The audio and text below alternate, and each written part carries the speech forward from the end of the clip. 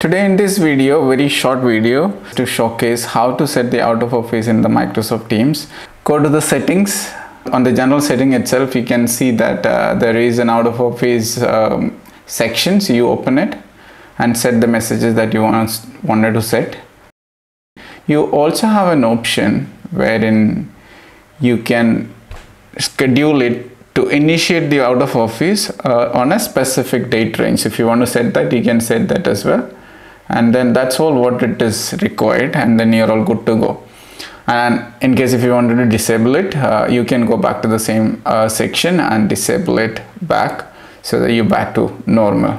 So simple and it is synchronized with Outlook calendar and the Teams calendar. You don't need to worry about setting up from the mail and Teams. If you like the video, do not forget to hit, hit like button and, and share your comments in case if you run into any problems. I'll be more than happy to help you.